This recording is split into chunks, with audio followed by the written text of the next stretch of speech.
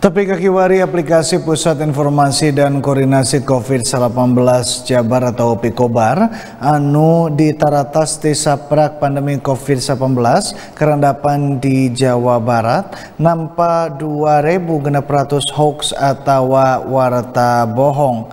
Kepala Dinas Komunikasi dan Informatika tawa diskominfo Jabar nyindeken pihaknya salawasna ngaklarifikasi saban warta. Anu asup rukun gawe jeng Jabar saber hoax.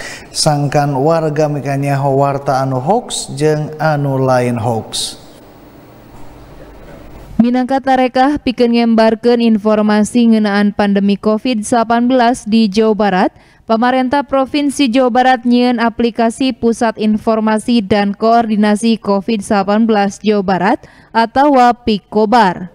Kepala Dinas Komunikasi dan Informatika atau Diskominfo Jawa Barat Setiaji ngeceskin, tapi kayena aplikasi Pikobar ges di download ku 750 ribu warga serta ngungkulan 120 ribu aduan ngaliwatan hotline Pikobar. Ari aduan anu pangreana masih mangrupa pasualan bantuan sosial atau bansos. Di neta aplikasi teh pihakna nampa 2000 genep ratus warta hoax atau bohong kalawan top isu angin ti Australia anu mawa virus tepika COVID-19 bisa nepak tina silih tetep. Dina Amprona pihakna salawasna ngaklarifikasi saban warta anu asup rukun gawe jeng Jabar saber hoax sangkan masyarakat henteka pengaruhan ku warta bohong.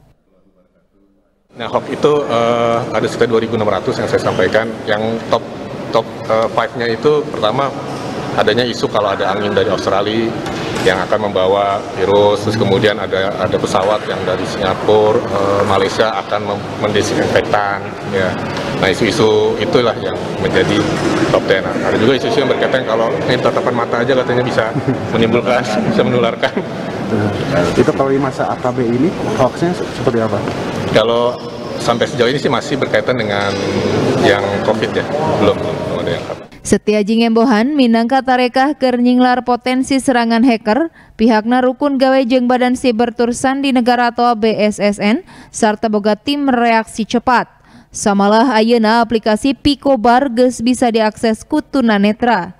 Eta fitur teh bisa dipakai di Android anu diwewegan ku fitur Talkback atau Voice Over di iOS. Budi Hartati, Bandung TV.